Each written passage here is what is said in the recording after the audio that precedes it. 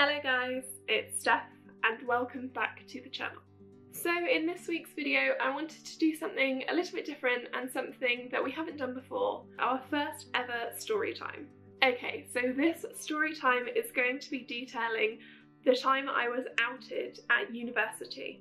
This is something I've talked about a lot in my private life and something I've talked about on a podcast I did quite recently, but it's something I have never talked about directly on the channel, so I thought that that would be a good first story time.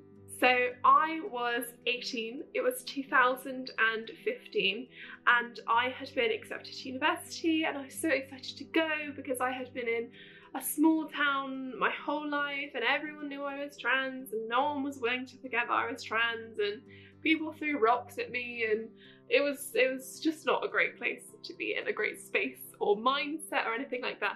So university was like my big chance. I wasn't going to tell anyone that I was trans. I was so excited. I was so ready to go. So for the first week, when I first got to university, I lived with my flatmates.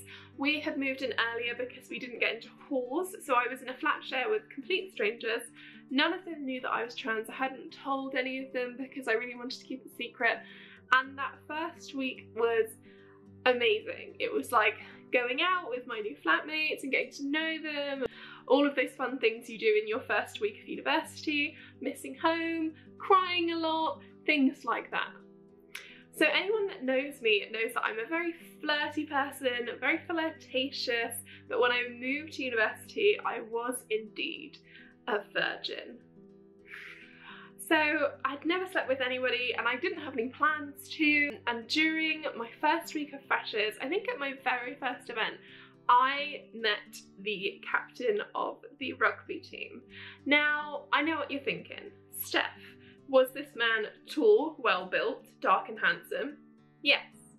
Minus the like super handsome bit. He was taller than me and I was 18, so it's fine. Don't judge me. This guy, for the duration of Freshers Week, was basically trying to get into my pants. He didn't know that I was trans, I wasn't going to tell him I was trans. Just as a very quick sidebar, if you're a trans person at university or a trans person anywhere, it's not your responsibility to tell the people that you flirt with that you're trans unless you intend to take it further, which at the time I didn't. So I didn't tell him, I thought it was harmless flirtation, and we entered kind of like a Freshers Week relationship of dating and going to all of the freshers events together but never sleeping together and so that's kind of the story up until this point. So freshers week no one knew I was having a great time I was getting very drunk and I was flirting with lots of guys and making out with lots of guys and it was some of the best weeks of my life I'm not gonna lie. What happened next was there was a situation with the guy in my house where he wanted to become more sexually involved and I didn't and it turned into a bit of an argument, some words were said and it ended in him kind of like storming out and leaving. Eventually I decided to tell him and it was the first person I told at university and oh my god I cannot tell you how much I regret it. The first person I told also happened to be the captain of the rugby team. Hindsight is a bitch but I told him I told him that's why I didn't want to be sexually active with him because I was trans and because no one knew and things like that. And what followed was really difficult. So he outed me to my housemates, so they all knew. And there was one guy who used to come over all the time and was friends with our group, and he found out and he no longer wanted to be friends with me. Which is fine, you know, I'm 18 years old, I'm a big girl, I can deal with all of that. So I lost my friends. My flatmate's opinion of me completely changed, which totally altered my first year of university. They no longer liked me. And that was kind of it. For a while, I lost contact with him and my relationship with my flatmates broke down because they didn't like that I was trans.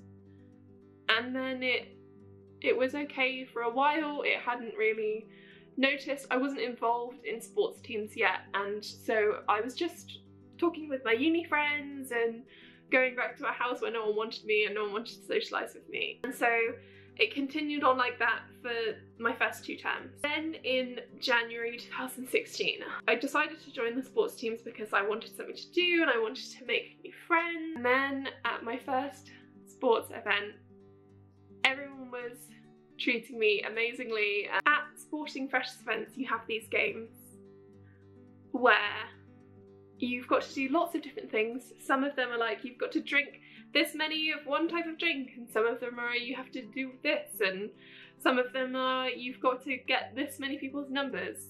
And my first sports team event, this guy walked in who I had known, captain with the rugby team, only person in university that knew I was trans. And he walked straight up to the captain of the football team and told him I was trans. And then they started to point and laugh at me. And soon enough, word spread throughout the whole party. And I was quite unaware of it at the time because I was just having fun, I was a bit drunk and chilling with my friends. And then this guy comes up to me and he asked for my number, he's being really flirty. And me being me and being flirtatious, I'm like, oh, okay, he likes me. He's picking up what I'm putting down, okay. And so I gave this guy my number. And then he turned his back on me, walked over to the rest of the captains, and he said I did it. And I found out that I had become the game. It was now a game to get my number because I was the trans girl and the freak. And yeah, that hurt. That was that was hard, and I went home in tears. Left the rest of my team there. Wasn't a fine moment for me. But they were supportive, my team was supportive of me. And so for a while, it was just awful. I had worked my entire life. I had sacrificed my long term health in order to pass. All of a sudden, just overnight, just because I liked the wrong guy, it was just gone. It was just gone. Looking back on it now, I'm glad it happened. It made me a stronger person. But I was outed my first year of university by the first guy that I kissed. I felt like I couldn't go to events anymore and it just ruined everything. It ruined my relationship with my flatmates. It ruined my course. I wanted to drop out and then in my second year, because I decided to try and stick it out, and then it had spread from the sports department to the rest of the school. And there were stares and sniggers and comments and all of these like really clicky things that I hadn't experienced since being back home and all of a sudden my anonymity, the thing I had worked 18 years for, was just gone. It ruined my entire university experience. And that's because I let it. I didn't live openly. And because of that, I was vulnerable to being outed. I should have known better. I should have not flirted with all the boys. I should have gone into university openly told everyone I was trans, tried to be really proud of it.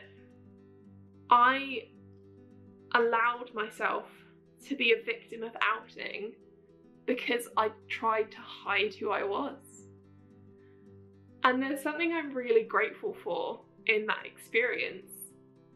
And it's the fact that I now live openly and without being outed. I mean, I'm sure it would have still happened, but I don't know how long it might have taken me to get to that point. That's that's the story of how I was outed at university. And I'm a much stronger person because of it, but that doesn't make it any less devastating at the time. 18 year old me, 19 year old me was devastated. It was awful. But it made me a stronger person and it taught me some very valuable lessons. Know who your true friends are, because I've still got friends from that first year of university who stuck by me, and I love them so much. Live openly if you can. I know as trans people, living openly is like painting a target on yourself and can be, in some parts of the world, an incredibly dangerous thing to do.